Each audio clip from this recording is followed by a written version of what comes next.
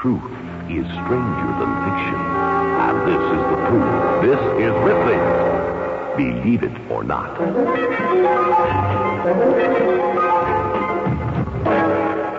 Bad news travels fast. If there was a murder at midnight and everyone who was told about it told two other persons within 12 minutes, everyone on earth would know about it by morning. Believe it or not. In a moment, I'll tell you about a deadly news item. If you think your life a bit dead, listen to the following news item from the Barstow, California Times.